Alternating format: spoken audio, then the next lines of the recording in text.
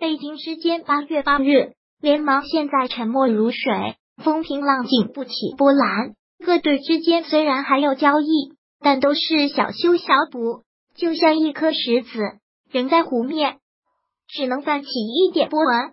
骑士和快船的交易更是如此，骑士走了勒布朗，受关注程度大减；快船今夏送走效力的时候，还小小的轰动了一下，毕竟能够把太子爷送走，快船的决心还是挺大的。随后就没声了。这次交易，骑士得到德克尔、雷纳尔达斯、塞布蒂斯的签约权和部分现金；快船得到维拉德马威勒明克的签约权。今日骑士管理层倒是小动作不断，除了这个交易，还把 J 二史密斯摆上了货架，感觉像是憋大招的样子。就是不知道 J 二有没有球队认领走。德克尔的到来对骑士来说是好事。